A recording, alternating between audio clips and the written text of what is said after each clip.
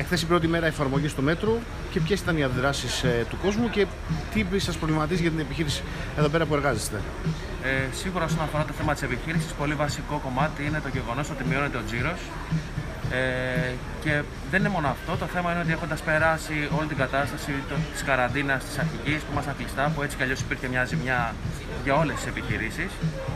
Έρχεται τώρα αυτό, περιμένοντας το καλοκαίρι λίγο να δουλέψουμε και υπάρχει σίγουρα πρόβλημα. Δηλαδή, χθες ήταν εμφανές και πλέον στην Αθήνα οι ώρες που δουλεύουν τα μαγαζιά είναι μετά τις 10 πλέον. Ο κόσμος πώς αντέδρασε χθες όταν σηκώσατε τα φώτα και κλείσατε τη μουσική; Ε, σίγουρα οι αντιδράσεις δεν ήταν θετικές. Το περιμέναμε βέβαια.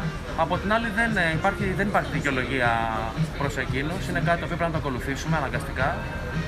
Το μόνο άσχημο είναι ότι, και αυτό είναι πραγματική ιστορία, μας το λέγανε χθες πιο κοντινοί μας άνθρωποι που είχαν έρθει εδώ, ότι το μοναδικό πράγμα που τους έχει μείνει είναι απλά να βγουν και να πιούν ένα ποτό και να διασκεδάσουν.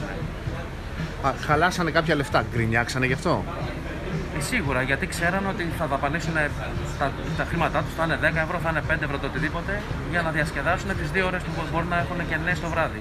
Τώρα δεν γινόταν αυτό, οπότε έπρεπε να συρρυκνώσουν το κομμάτι της διασκεδασής τους και σίγουρα δεν ήταν ευχαριστημένοι με όλο αυτό που συνέβη. Στο θέμα του τζίρου και των εργατορών, δηλαδή ε, δουλεύει λιγότερες ώρες ε, το μαγαζί, άρα δουλεύουν και λιγότερες ώρες οι εργαζόμενοι.